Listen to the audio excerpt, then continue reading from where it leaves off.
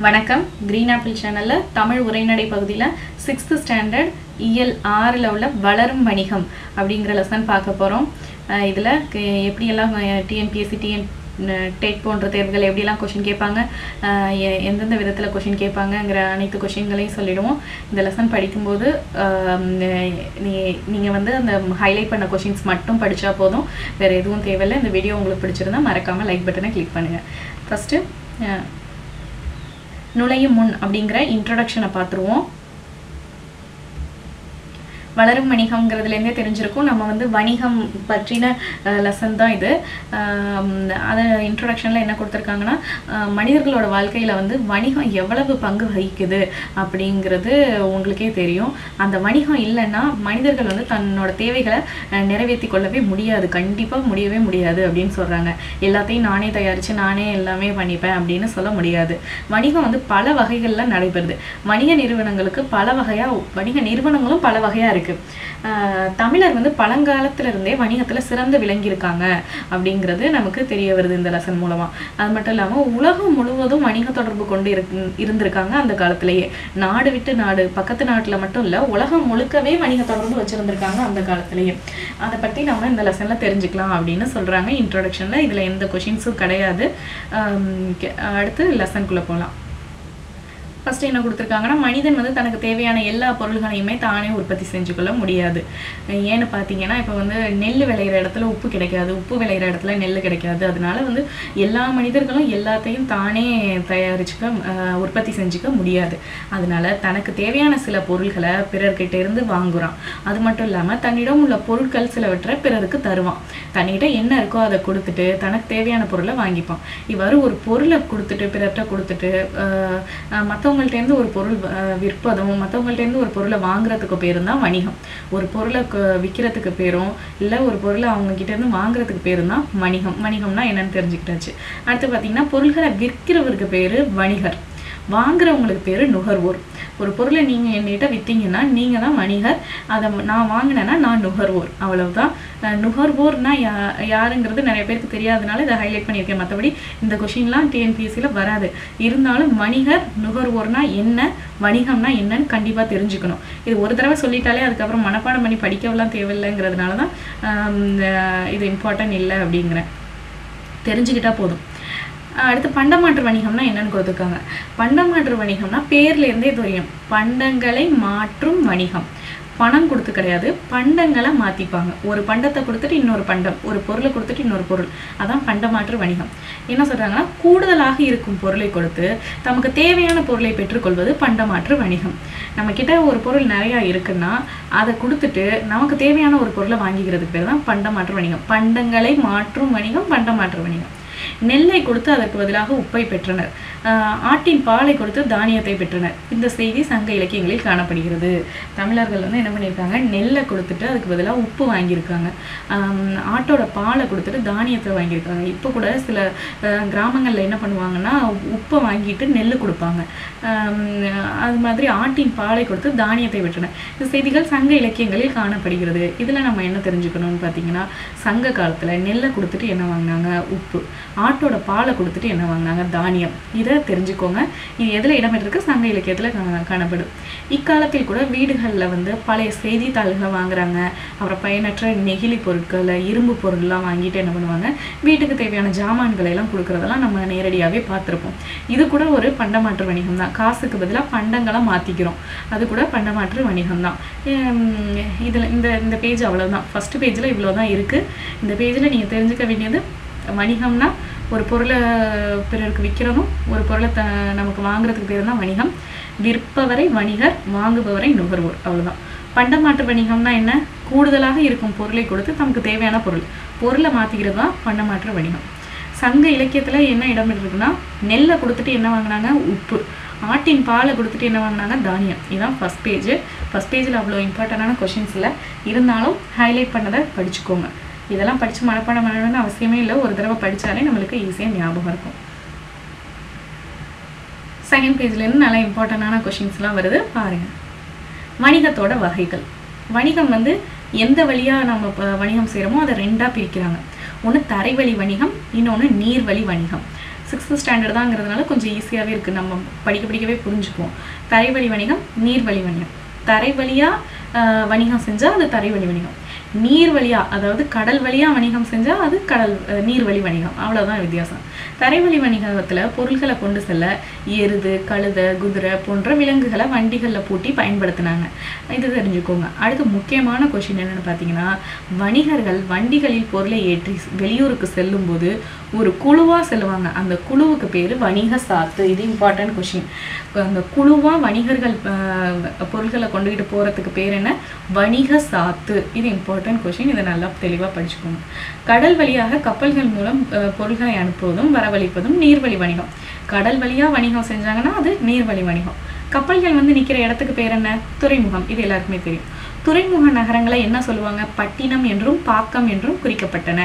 இது இப்போ old book படிச்சவங்களுக்கே தெரியும். துறைமுகம் நகரங்களை என்ன சொல்லுவாங்க? பட்டினம்னு சொல்லுவாங்க. இல்லைன்னா பட்டினம் என்றும் பாக்கம் என்றும் சொல்லுவாங்க. பட்டினம்னு சிலது அழைக்கப்படும் பாக்கம்னு அழைக்கப்படும். அஹ் சென்னப்பட்டினம் அப்படின்னலாம் சொல்லுவோம். அந்த அஹ், பட்டினம்ங்கிறது வந்து கடற்கரை நகரம் அப்படின்னு குறிக்கப்படுவாங்க.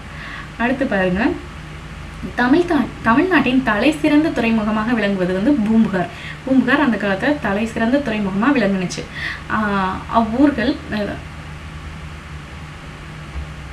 அவ்வூர் துறைமுகத்தில் பல்வேறு நாட்டு கப்பல்கள் தன் தன்னோட கொடியோட வந்து நிற்குமா வந்து நின்றுட்டு த வெளிநாட்டிலேருந்து கொண்டு வந்த பொருளை அது கொடுத்துட்டு நம்ம நாட்டிலேருந்து பொருட்களை ஏற்றிட்டு போயிருக்காங்க. அந்த பூம்புகாரில் அதிக அளவில் வெளிநாட்டிலேருந்து பொருட்கள் கொண்டு வந்து கொடுத்துட்டு அஹ், நம்ம நாட்டில் உள்ள பொருட்களை ஏற்றிட்டு போயிருக்காங்க அப்படின்னு குறிப்பிடுறாங்க.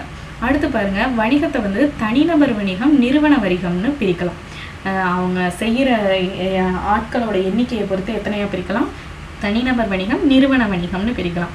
ஒரு ஒரே ஒரு தனிநபரால உருவாக்கப்பட்டு நடத்தப்படும் வணிகம் வந்து தனிநபர் வணிகம். ஒன்றுக்கு மேற்பட்டோர் இணைந்து முதலீடு செய்து வணிகம் நடத்துவது நிறுவன வணிகம். ஒன்றுமே கிடையாது. ஒரே ஒருத்தர் வணிகம் செஞ்சால் அது தனிநபர் வணிகம். ஒ- ஒருத்தருக்கு மேற்பட்ட அது ரெண்டு பேராக இருந்தாலும் சரி மூணு பேராக இருந்தாலும் சரி பத்து பேராக இருந்தாலும் இருபது பேராக இருந்தாலும் வேற ஒருத்தருக்கு மேலே போயிடுச்சுனாலே அதுக்கு பேர் நிறுவன வணிகம். அவ்வளவுதான். இந்த இந்த பேரால் கொடுத்துருக்குது வணிகத்தோட வகைகளில் இதுதான் கொடுத்துருக்காங்க. சைடில் தெரிந்து தெளிவோம் அப்படின்னு என்ன கொடுத்துருக்காங்கன்னு பார்த்தீங்கன்னா தன்னாடு விளைந்த வெண்ணெல் தந்து பிறநாட்டு உப்பின் கொள்ளை சுற்றி அப்படின்னு கொடுத்துருக்காங்க. இந்த லைன் இடம்பெற்றது எதில் அப்படின்னு பார்த்தீங்கன்னா நற்றினு.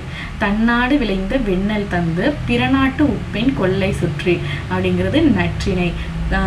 இதை எப்படி ஞாபகம் வச்சுக்கலாம்? இந்த லைனை எப்படி இந்த நல்லா பார்த்துக்கோங்க. இந்த லைன்ஸும் அது யார் எந்த நூலில் இடம்பெற்றது? இல்லைன்னா யார் அந்த தொடரை குறிப்பிட்டா? இதெல்லாம் ரொம்ப இம்பார்ட்டன்ட் இதுதான் டிஎன்பிஎஸ்சி ஆல்ரெடி எக்ஸாம் அட்டன் பண்ணவங்களுக்கு தெரியும். எவ்வளோ கொஷின்ஸ் இதுலேருந்து வருது? எவ்வளோ இம்பார்ட்டன்ங்கிறது உங்களுக்கே தெரியும்.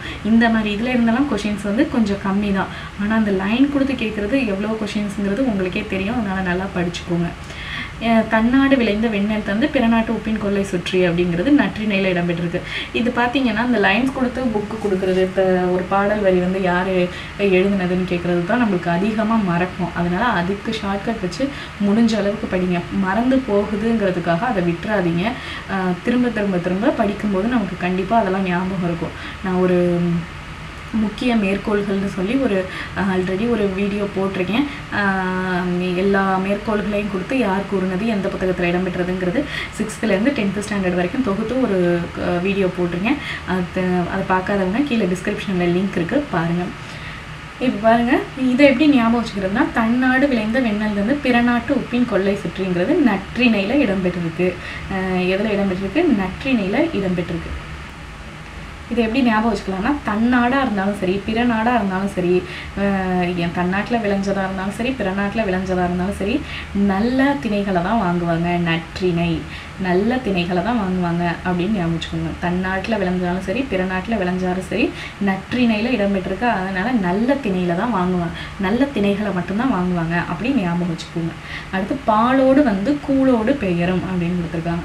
பாலோடு வந்து கூழோடு பெயரும்னா இதுக்கு என்ன மீனிங்னா பாலை கொண்டு வந்து கொடுத்துட்டு கூழ்னா தானியம். தானியத்தை எடுத்துகிட்டு போனாங்க அப்படின்னு இதில் குறிப்பிட்டிருக்கு. நான் சும்மா ஜஸ்ட் ஞாபகம் வச்சுக்கிறதுக்காக என்னன்னு பார்த்தீங்கன்னா பா அந்த காலத்தில் எல்லா வீட்லேயும் கூழ் குடிப்பாங்க. கண்டிப்பாக ரொம்ப ஏழையாக இருக்கவங்க வீட்டில் கூட கூழ் கிடைக்கும். ஆனால் பால் ச ஓரளவு வந்து கொஞ்சம் வசதியானவங்க வீட்டில் மட்டும்தான் கிடைக்கும் அந்த காலத்தில். அப்படி பார்த்தா பாலோடு வந்து கூழோடு போயிருந்தா பாலை கொடுத்துட்டு கூழ் வாங்கிட்டு போகிறாங்கன்னா அது ரொம்ப குறுகிய இது இதுவே போதும். குறுகிய மனப்பான்மையோட ஜஸ்ட் இது ஞாபகம் வச்சுக்கிறதுக்காக தான் குறுகிய மனப்பான்மைங்கிறதெல்லாம் வேறு மீனிங்கில் வரும். நான் ஜஸ்ட் ஞாபகம் வச்சுறதுக்காக சொல்கிறேன் குறுகிய மனப்பான்மையோட கொஞ்சமாக போதும்னு சொல்லி வாங்கிட்டு போகிறாங்க அதனால இது குறுந்தொகை. குறுகிய குறுகிய அளவு வாங்கிட்டு போகிறாங்க பாலை கொடுத்துட்டு கூழ் வாங்கிட்டு போகிறாங்க இப்போ குறுகிய ம இதோட வாங்கிட்டு போகிறாங்கங்கிறதுனால இது குறுந்தொகையில் இடம்பெற்றிருக்குன்னு ஞாபகம் வச்சுக்கோங்க. அடுத்து பொண்ணோடு வந்து கரியோடு பெயரும் அப்படின்னு கொடுத்துருக்காங்க. இது அகநானூறு. பொண்ணுங்கிறது வந்து பொண்ணுன்னா நகை. நகை நகை எப்படி என்ன பண்ணுவோம்? வெளியில் போட்டுட்டு வந்தால் கொள்ளையர்கள் வந்து அடிச்சுட்டு போயிடுவாங்க. அதனால வீட்டுக்குள்ளேயே வச்சுக்கணும்.